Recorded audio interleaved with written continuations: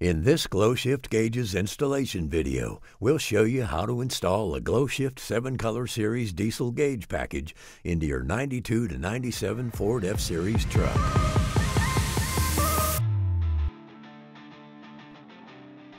When you're ready, grab your tools and we'll meet you in the garage. The additional accessories featured in this video will make installation easier and can be purchased through our website. For the purpose of this installation, we'll be using a 1997 Ford F-Series to install our gauges. For safety, disconnect both negative battery terminals before starting any work on the truck. To install the boost line, start by locating the map line on the passenger side of the engine bay and mocking up the location of the boost line T-fitting. Cut the line and install the T-fitting using the included hose clamps.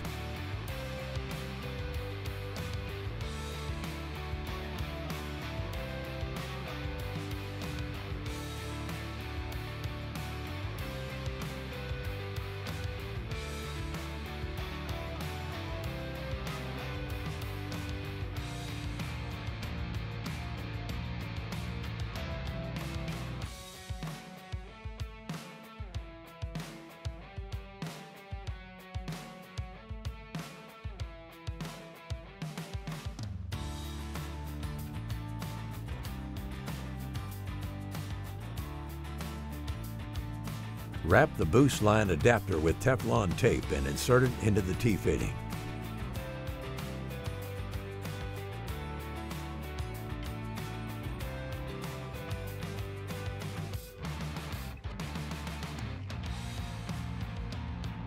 Hold the T-fitting with a 1 2 inch wrench and tighten the boost line adapter using an 11 millimeter wrench.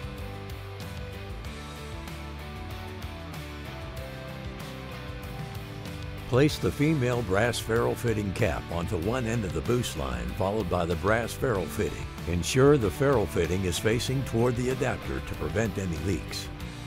Then insert the line into the adapter and tighten using a 3 8 inch wrench. Do not over tighten the fittings.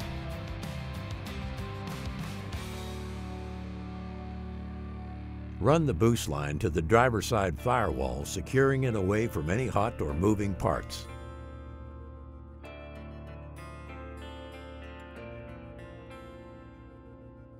To install the fuel pressure sensor, start by removing the engine cover.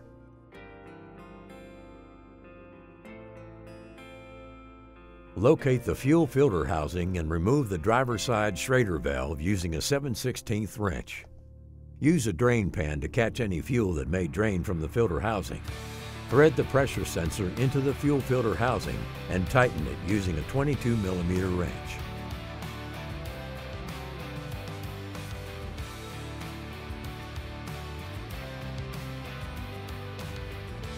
Connect the pressure sensor harness and run the opposite end of the wire to the driver's side firewall, keeping it clear of any hot or moving parts.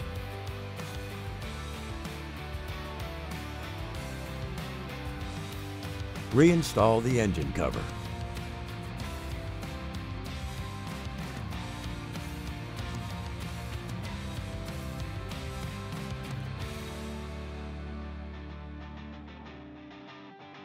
To install the transmission temperature sensor, start by safely raising the vehicle if it is not already raised. Place a drain pan under the driver's side of the transmission and remove the test port bolt using an 11 millimeter socket.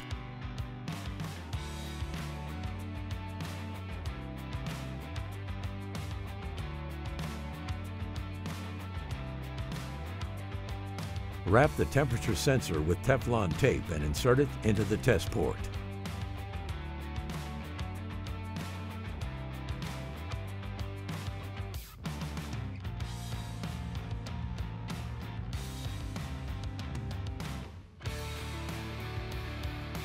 Tighten it using a 14 millimeter wrench.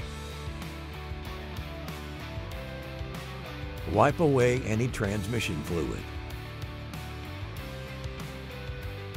Attach the female silver connector and the longer rubber cover to one end of the green wire from the 4-gauge wiring harness.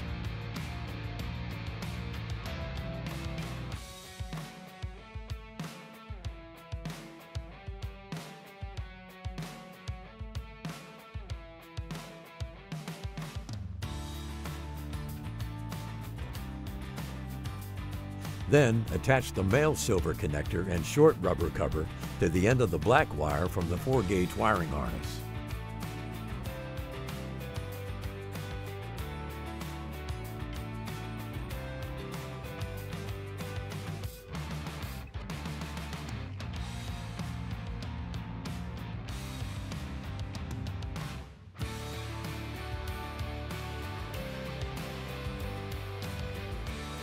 Connect the black wire to the black wire from the temperature sensor and connect the green wire to the white wire from the sensor. Run the opposite end of the wires around the transmission and up through the engine bay on the driver's side, securing them away from any hot or moving parts. To install the exhaust temperature probe, locate a flat portion of the manifold and use a punch to mark the location for drilling. Starting with a 1 8 drill bit, drill a hole in the manifold, increasing the bit size until a size R is reached.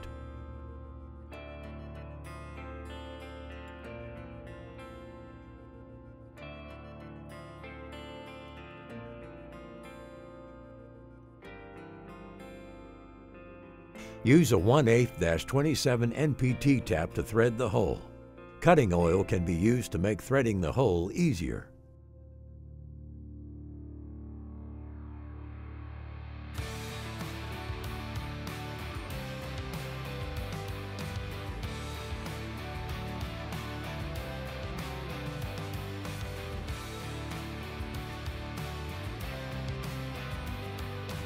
Use a shop vac and pen magnet to clean up the metal shavings.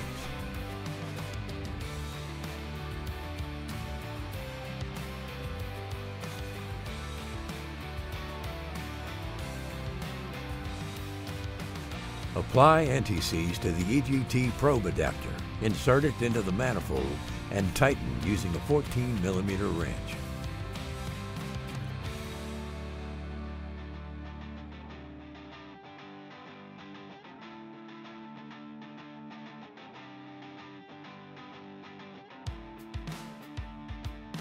Apply anti-seize to the adapter and insert the exhaust temperature probe.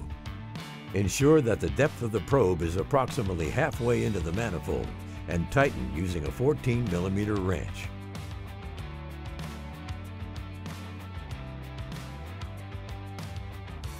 Run the probe wire to the driver's side of the engine bay.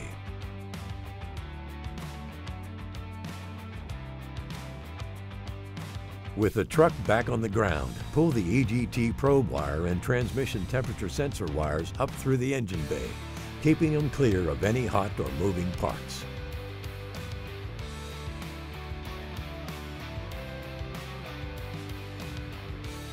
Connect the braided EGT sensor harness to the EGT probe and feed the EGT harness, fuel pressure harness, green transmission sensor wire, and boost line through an open grommet in the firewall and into the cabin.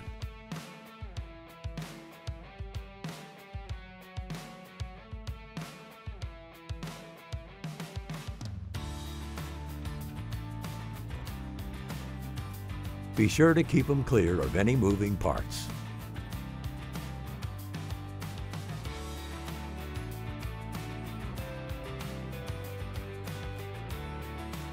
Attach a ring terminal connector to the black wire from the transmission temperature sensor.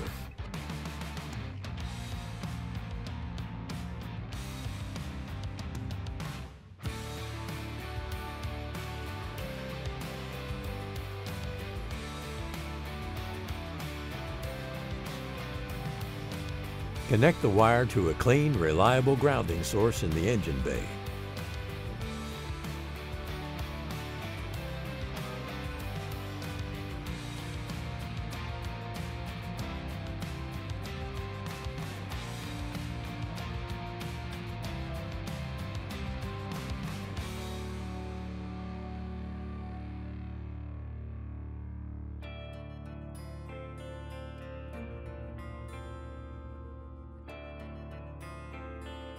Using a Phillip head screwdriver, remove the screws holding the lower trim and the factory pillar.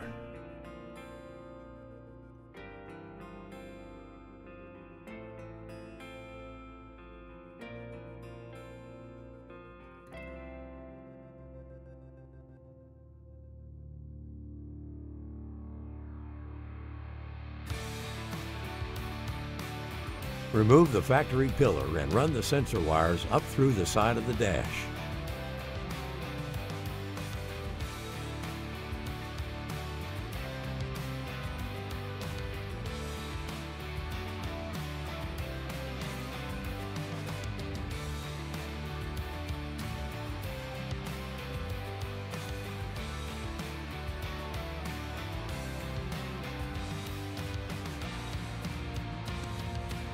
Insert the transmission temperature wiring harness into the back of the trans temp gauge and place the gauge into the pod.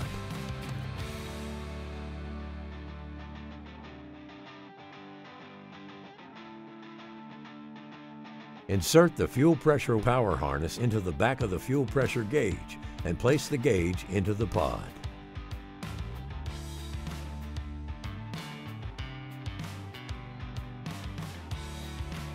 Insert the EGT power harness into the back of the EGT gauge and place the gauge into the pod.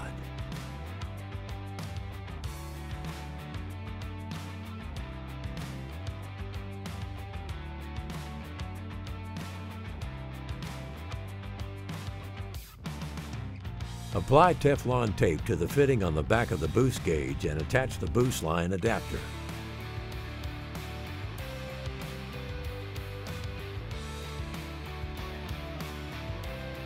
Tighten it using a 13 millimeter wrench. Do not over tighten the adapter as it will damage the gauge. Then feed the wires for the boost gauge through the pod and insert the gauge into the cup.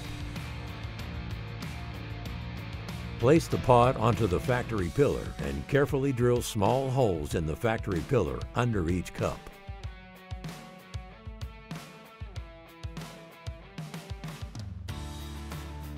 Remove the pod from the pillar and using a stepper drill bit, drill the marked holes until they are wide enough for the gauge wires to pass through.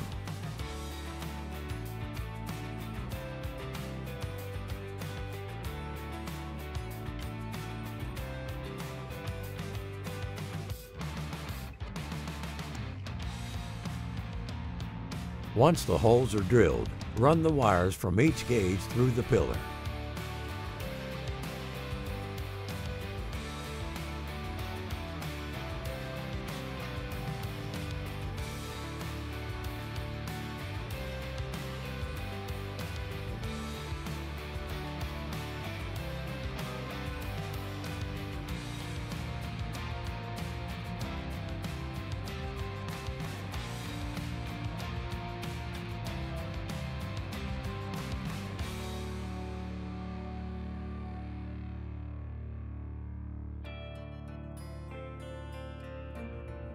Using the yellow wire from the 4-gauge wiring harness, connect all of the yellow wires together.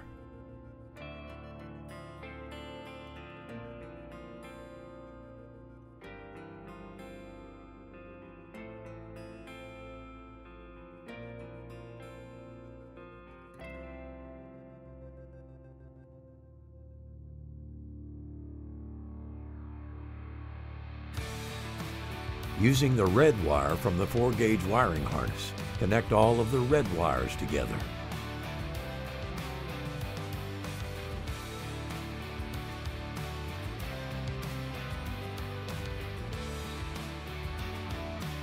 Using the orange wire from the 4-gauge wiring harness, connect all of the orange wires together.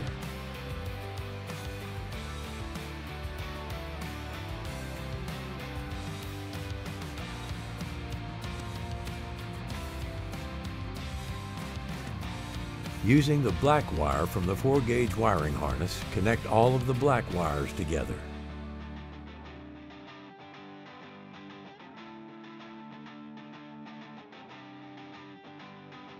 Use zip ties to clean up the wires.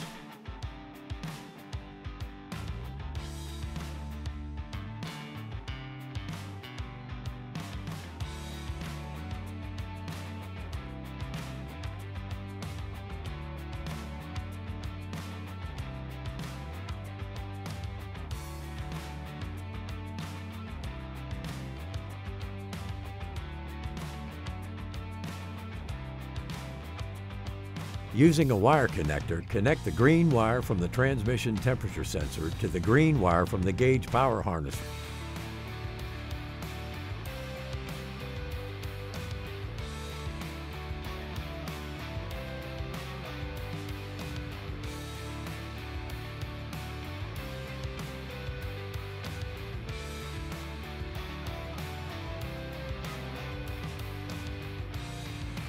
Feed the fuel pressure sensor wire through the pod and plug it into the back of the gauge.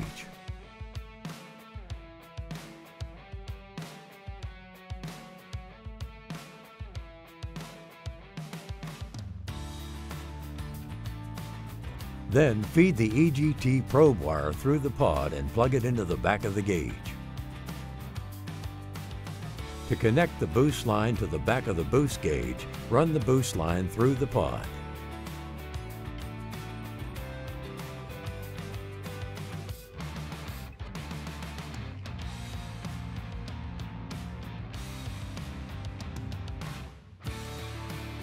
Place the brass ferrule fitting cap over the line, followed by the brass ferrule fitting. Ensure the ferrule fitting is facing the gauge to prevent any leaks. Place the boost line into the adapter and tighten the nut onto the gauge using a 3 8 inch wrench.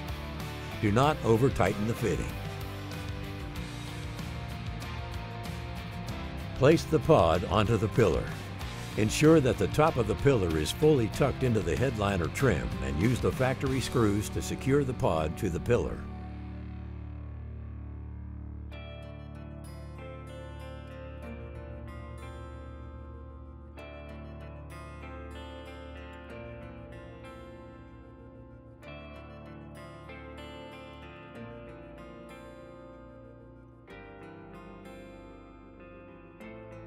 Remove the headlight switch cover and small dash trim pieces to gain access to the trim screws.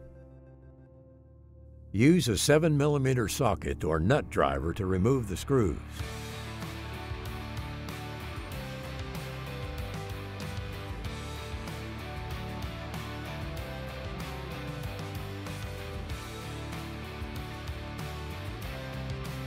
Then remove the dash trim and disconnect the fuel tank switch power harness.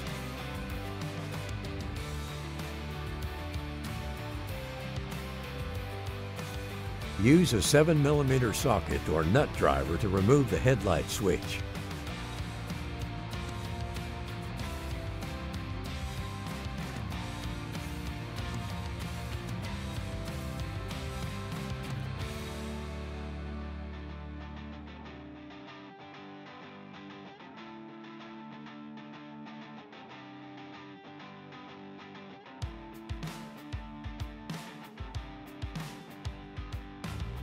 In order to test for power, reconnect the negative battery terminals.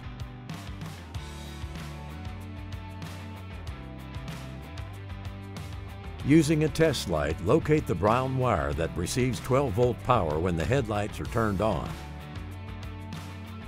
Attach a wiretap connector to the headlight wire.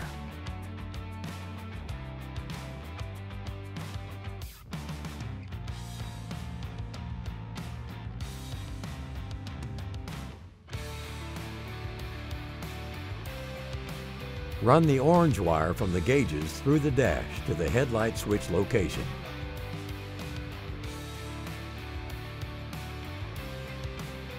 Trim the wire and attach a wire connector.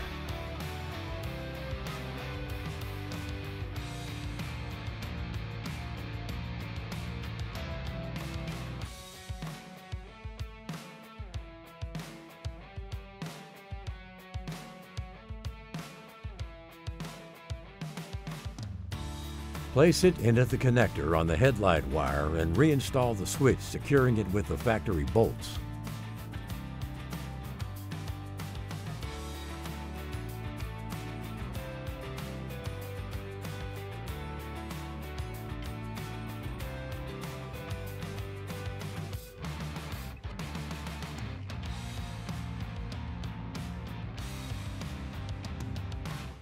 Plug the fuel tank switch harness into the dash panel and reinstall the panel.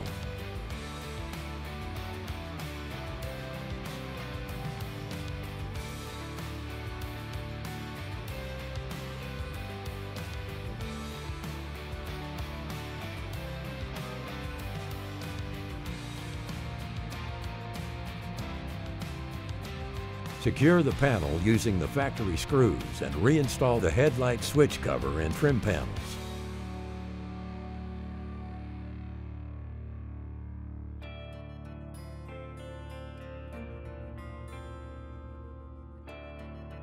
For this installation, we'll be powering the gauges using expandable circuits which can be purchased through our website. Use a 7mm socket or nut driver to remove the kick panel screws and lower the kick panel to gain access to the fuse box.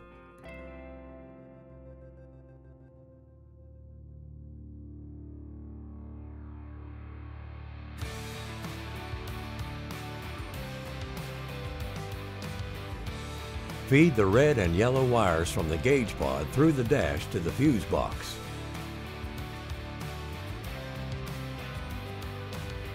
Using a test light, locate fuse 8 for constant 12 volt power.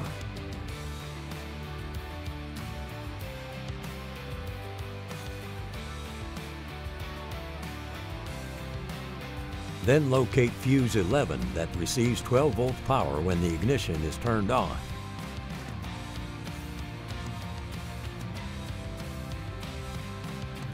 Attach the first expandable circuit to the yellow wire from the gauges.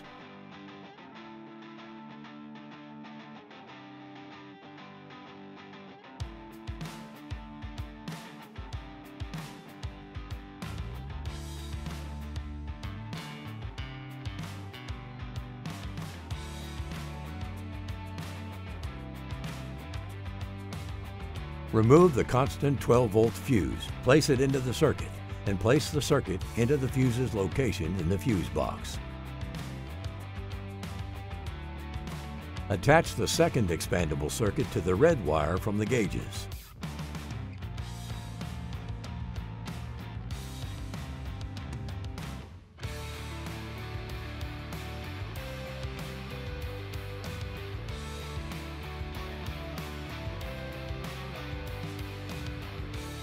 Remove the 12 volt ignition fuse, place it into the circuit, and place the circuit into the fuse's location in the fuse box.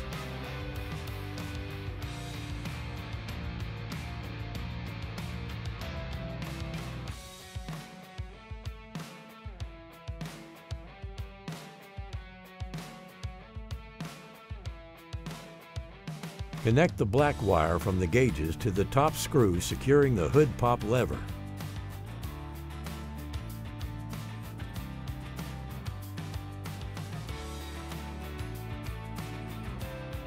Clean up all the wires and tuck them under the dash, keeping them clear of any moving parts. Reinstall the kick panel and secure it using the factory screws.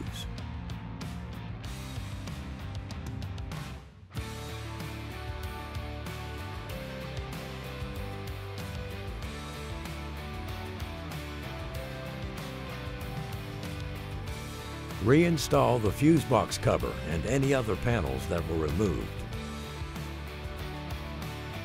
Be sure to check the level of the transmission fluid and top off with the factory recommended transmission fluid if necessary. Power your gauges by starting the vehicle to verify that everything is working properly and there are no leaks. You've now successfully installed your GlowShift diesel gauge package into your truck. If you have any questions, concerns, or comments, please contact us at 1 888 GS Gauge and we'll see you on the road.